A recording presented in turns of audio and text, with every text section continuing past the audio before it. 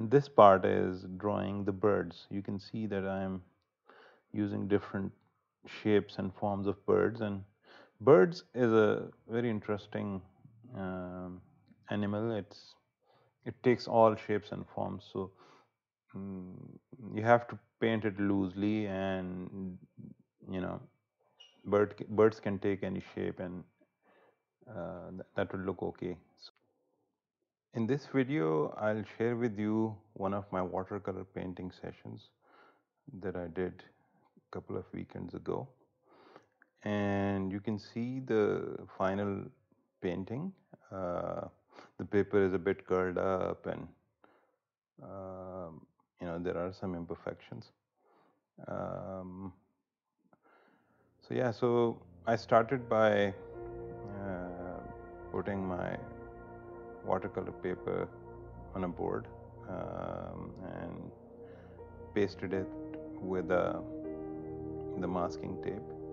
Then I divided the paper into threes uh, across the vertical axis. Uh, you know, the lower third I reserved for for the ground, for the grass and then in the middle third uh, I plan to draw the trees. Um, and then you know uh, the sky is a little more than the top third. So you can say sky is taking almost half of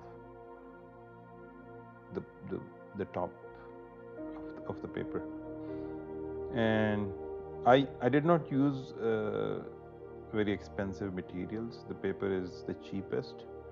Like this paper would cost you around one dollar, um, which is very cheap and it's not the best paper. Um, and you can see on the final result uh, picture in the corner, it has some those uh, cauliflower effects in the sky, but that's okay. You know, I was able to make it work to some extent. You can also look at the paints; these are not, uh, you know, famous brand. Uh, these are some cheap watercolor paints, and um, you know, brown is just brown. You can't you can't call it burnt sienna. Um, and you have to use your imagination to come up with the color. So what I'm trying to do here is to add that gray that we see in the clouds and you can see I am adding some brown to the gray to get that warmth and then I made a gray paint but that was very thick so I added more water in another section of the palette and all of a sudden my painting you know progressed into another stage because my camera died uh, in between. So yeah that that's fine. That's all right.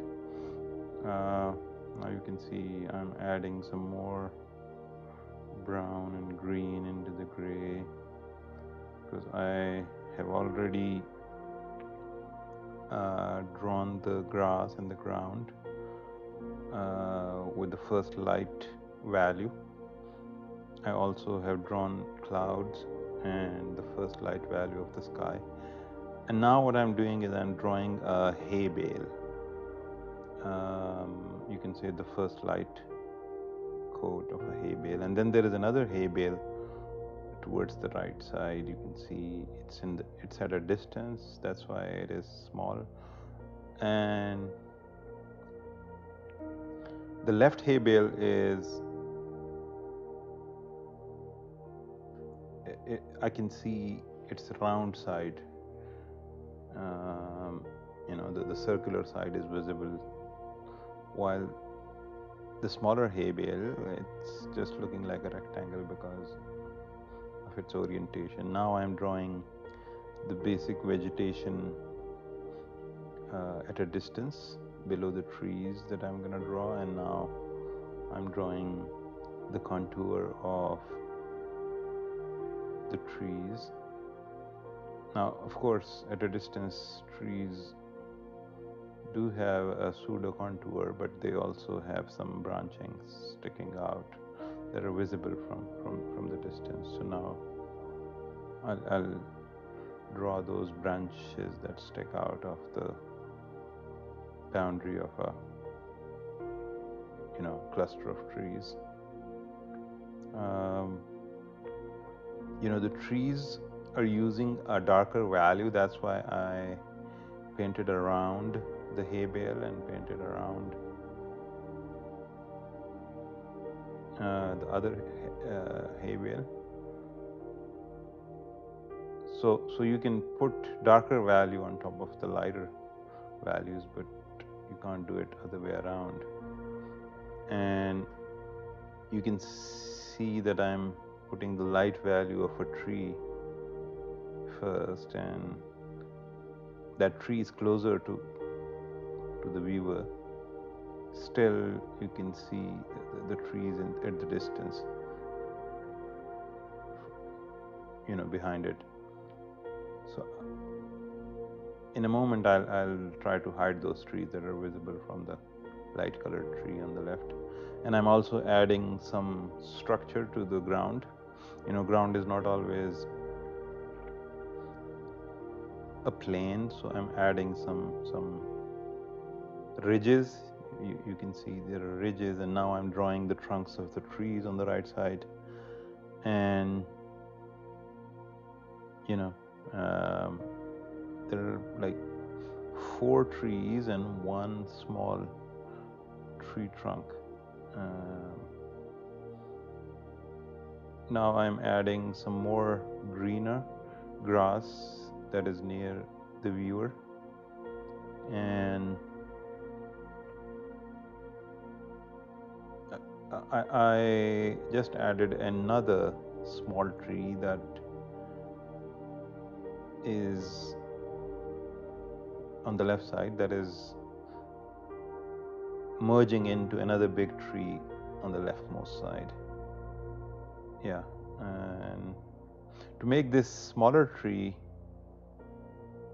make more look more realistic I'll add some foliage to the bottom of it uh, in a bit in a second.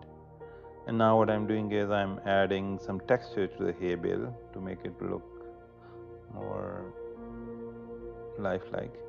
So you can see there multiple rolling of, of hay layers of hay. So I'm, I'm trying trying to draw that. And then I just took a knife and tried to make you know the branches that are visible in the trees. You know when you scratch the paper it it makes that shiny layer on top of the green color in a tree. So I used a knife and now I'm thinking that my sky doesn't have a lot of pigment, a lot of color to it. So I've made a good bright sky blue color and I repainted over it. This is not recommended to repaint a lot, but I, I did see good life in the sky.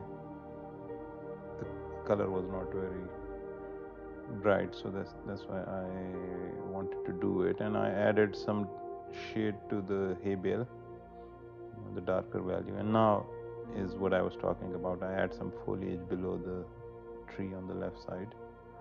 So the tree looks more realistic. You know trees make a lot of uh, a lot of small grass and leaves be below them.